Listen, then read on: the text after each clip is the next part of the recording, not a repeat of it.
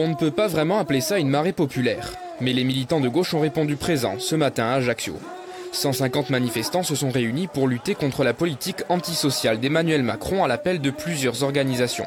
La CGT, la France Insoumise, le Parti communiste, la Fédération syndicale unitaire et le nouveau mouvement insulaire INSEM et Amanc. L'objectif, c'est de faire reculer Macron face à toutes ces mesures euh, antisociales.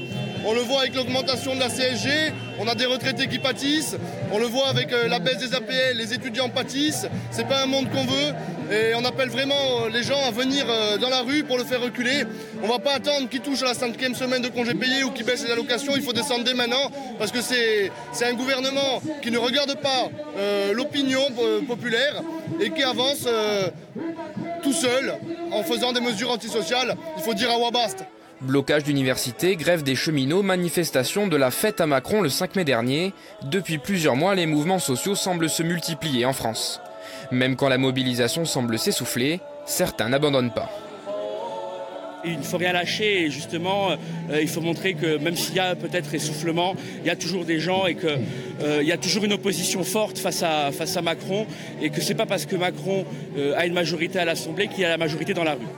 Les manifestants ont ensuite partagé un repas devant la préfecture.